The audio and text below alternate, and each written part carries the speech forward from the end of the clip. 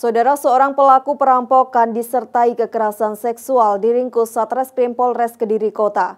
Pelaku bukan hanya membawa kabur perhiasan dan kendaraan, namun juga melakukan aksi pemerkosaan terhadap korban.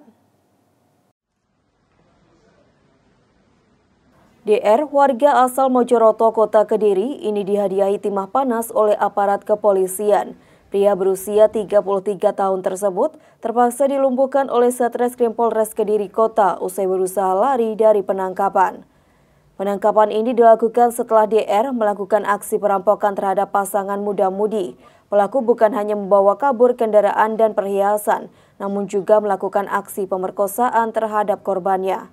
Modus pelaku yakni menuduh pasangan muda-mudi yang sedang berpacaran di tempat sepi melakukan perbuatan mesum Kemudian pelaku yang membawa senjata tajam langsung mengajak pasangan muda-mudi itu ke area makam.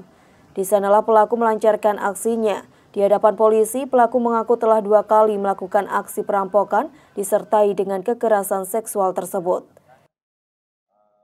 Si pelaku ini uh, menunggu, jadi ada pasangan-pasangan yang mungkin diindikasikan berpacaran di situ, berbuat mesum di situ.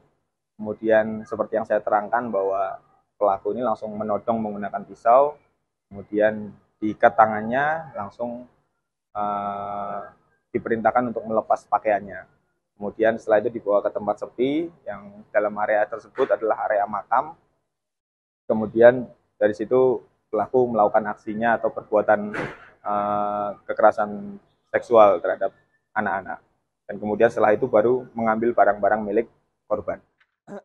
Pelaku sendiri diketahui merupakan residivis kasus penggelapan. Kini pelaku dijerat pasal 365 KUHP tentang kekerasan seksual pada anak dengan ancaman hukuman 9 tahun penjara.